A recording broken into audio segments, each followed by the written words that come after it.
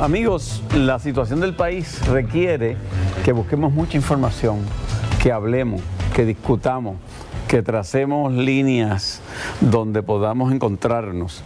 Y hay dos sectores de nuestra situación que tienen mucho que aportar, el empresarial y, y los economistas. Por aquí tengo a Manolo Sidre, eh, empresario puertorriqueño, que lleva muchos años ya aportando y, siendo un poco portavoz de las cosas, sobre todo un gran amor a los productos de Puerto Rico y a lo que es defender las cosas de aquí. Y Marta Quiñones, economista, que también se ha caracterizado por decir las cosas como son, aunque no suenen bonitas en algunas ocasiones. Y entonces eh, el hombre de la calle y la mujer de la calle está como en medio de un fuego cruzado donde hay opiniones de un lado y de otro, se mezcla la cosa política que la contamina todo también, porque uno no sabe las intenciones de, los políticos en particular. ¿Cómo lo ves? Bueno, yo, como dije ahorita eh, fuera de cámara, yo quisiera dejarle la parte eh, económica a, Marta, eh, pero de la escuela que yo vengo, y no es muy joven, otra vez repito, eh, siempre he aprendido que antes de un presupuesto tiene que venir un ejercicio de planificación estratégico, donde usted se sienta con su equipo de trabajo y usted dice, vamos a hacer esto, vamos a dejar de hacer esto, nos vamos a enfocar en esta dirección y una vez usted culmina ese ejercicio, usted le pone número a ese ejercicio. Lo que estamos mirando en Puerto Rico no es ese caso. Estamos mirando en Puerto Rico una ausencia de plan, totalmente, y entonces estamos... Eh, Por muchos años, no bueno, Eso ya es parte de nuestro, de nuestro ecosistema, pero, pero oye, me tiene que venir una primera vez. Y entonces estamos mirando una legislatura y un señor gobernador posiblemente con las mejores intenciones, ¿eh? pero están mirando el presupuesto como que elimino, que no elimino, que elimino, que no elimino, sin medir consecuencias, sin medir próximos pasos. Y obviamente el pueblo que hemos estado acostumbrado toda la vida a reclamar nuestro pedazo, pues no se puede quedar dado. Y estamos mirando entonces una, un país que está sumergido en una profunda preocupación, en una profunda incertidumbre que detiene todo, mirándolo desde el punto de vista de negocio, Silverio, pues sin duda alguna no hay nada que, detenga más, y yo creo que Marta en esto nos puede dar una, una clase, que detenga más la actividad de un negocio que tú saber para dónde no va. Que la incertidumbre. Que la incertidumbre. Así que en esa dirección yo creo que, que el gobierno tiene que enfocar y mirar cuáles son las verdaderas cosas que hay que cortar.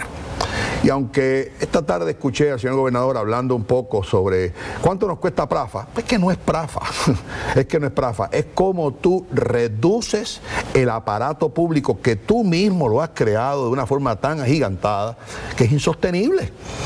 Y eso conlleva decisiones difíciles, conlleva voluntad y eso ha sido el común denominador de nuestros últimos Lo que pasa es que mucha gente menciona Prafa, menciona las escoltas de los exgobernadores, no necesariamente porque esos sean eh, presupuestos que, o dinero que, vaya a mejorar el presupuesto, sino como mensaje, porque eh, si no se menciona eso y se menciona becas para estudiantes, entonces yo me puedo imaginar que muchos estudiantes si no tienen beca no pueden estudiar.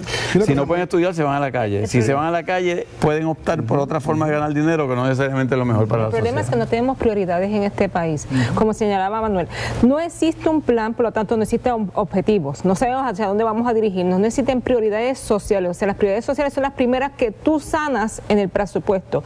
Y para hacerlo tú tienes que hacer un presupuesto donde le preguntes a cada uno de ellos cuál es la función social que tú estás cumpliendo y cómo esto beneficia a la, sociedad, a la economía y a los diversos sectores económicos que existen. Las políticas públicas tienen que ser progresivas, no pueden ser unas que destruyan a otros sectores económicos. Por ejemplo, lo que estaba mencionando hoy, quitar la agricultura. El problema es que destruyes entonces un sector económico que es importante que lo rescatemos. Pero ¿a quién le vamos a quitar? A los que no cumplen objetivos sociales claros. Y para eso se tenían que sentar.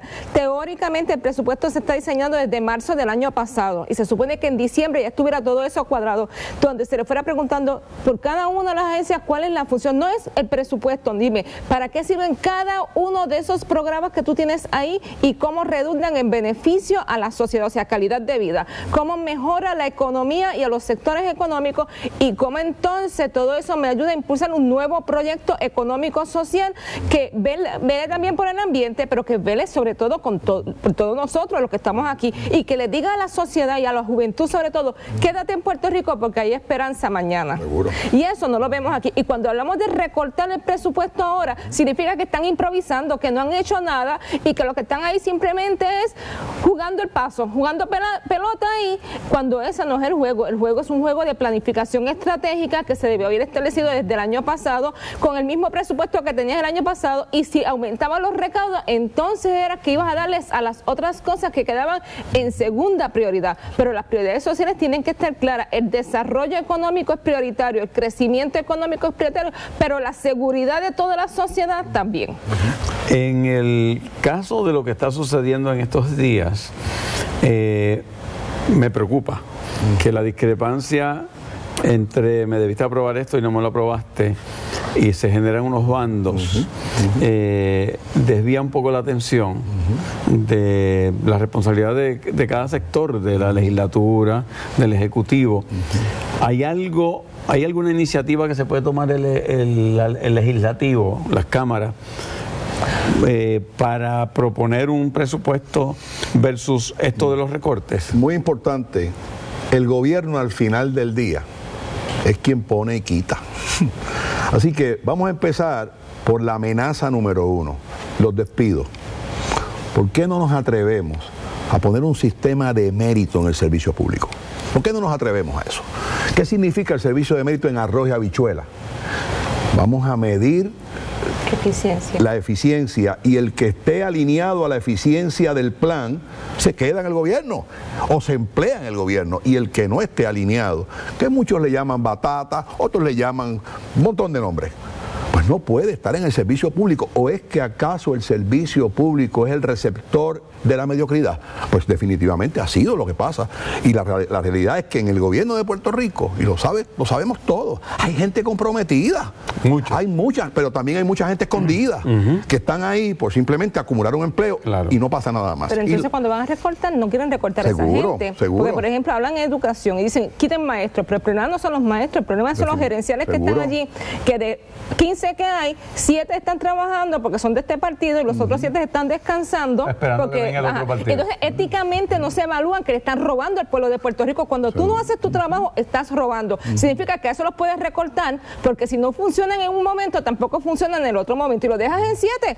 Porque entonces ahí es que está, la, no la grasa, ahí está toda esa politiquería que hemos metido y que no estamos evaluando. O sea, persona que no esté trabajando y cumpliendo su labor debe ir para afuera, independientemente de su ideología política.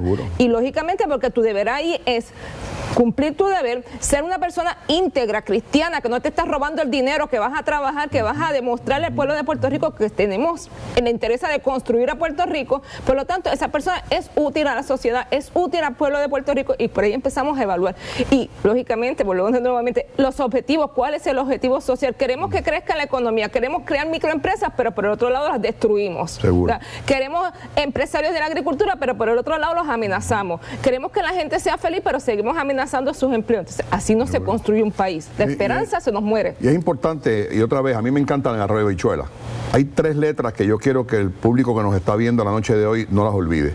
La C, la O y la N. Y en cada cosa que haga el gobierno debe plantearse si es conveniente, si es oportuno y si es necesario en esa base. Y lo segundo y muy importante, es imposible sin la ausencia de un plan económico vigoroso aspirar a más ingresos. Y tercero y no menos importante, ya es hora que invirtamos en el desarrollo económico mucho más de lo que hemos invertido en el... Esto no es cuestión de incentivos, es cuestión de invertir en el desarrollo económico. Y yo creo que este ejercicio que nos ha traído a una discusión que en muchos casos parece una perreta de niño chiquito, yo creo que esta discusión debe de producir si el pueblo se apodera, un país mucho más apoderado de su futuro de lo que hemos estado hasta ahora. Y organizado y dejarnos de las pequeñeces políticas, no es culpa ni de los seis ni de nadie, es culpa de todos nosotros que no nos hemos puesto en nuestro lugar y le exigimos al gobierno responsabilidad.